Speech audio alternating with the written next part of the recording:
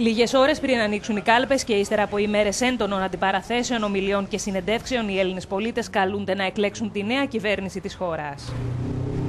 Πολλοί από αυτούς εξακολουθούν να μην έχουν αποφασίσει τι θα ψηφίσουν. Οι περισσότεροι πάντως δηλώνουν ότι τρεις εκλογικές αναμετρήσεις σε διάστημα 9 μηνών είναι πολλές. Καλό θα ήταν να μην υπάρξουν αυτές οι εκλογές, λόγω του ότι τρεις ανα... εκλογικές αναμετρήσεις μέσα στον ίδιο χρόνο είναι δύσκολο για τον κόσμο. Αλλά σαν πολίτης πρέπει να κάνω εγώ το καθήκον μου και να δούμε από εδώ και πέρα τι άλλο μπορεί να γίνει. Θα ψηφίσω οπωσδήποτε.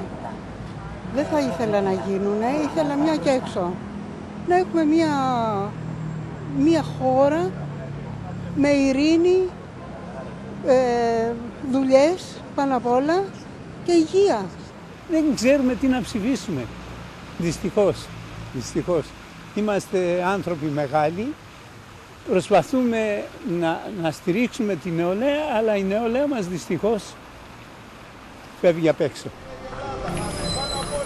Σύμφωνα με αναλυτές, οι αναποφάσιστοι είναι αυτοί που θα κρίνουν το αποτέλεσμα αυτών των εκλογών. Το Euronews θα καλύψει λεπτό προς λεπτό την εκλογική αναμέτρηση με ζωντανές συνδέσεις και ανταποκρίσεις από την Αθήνα.